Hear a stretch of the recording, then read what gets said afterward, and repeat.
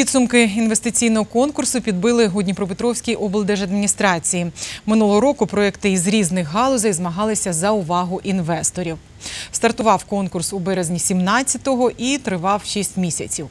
Він проходив у три етапи. Спочатку серед усіх заявок відібрали 51 стартап, далі 10 найкращих. Зрештою, три переможні проекти представили інвесторам. Зокрема, це стартап із пошиву нової форми для військових. Її особливість у тому, що при пораненні можна одним рухом спинити кров. Своєрідні жгути вшиті просто в одежу. Інвестори профінансували ідею, вже виготовили тисячу екземплярів такої форми. Наразі її випробовують військові.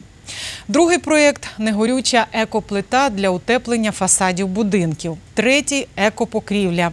Її виготовляють без використання азбесту канцерогенної речовини. Необхідне для виробництва обладнання придбає турецький інвестор. На проєктні роботи вже витратили 1 мільйон 200 тисяч гривень.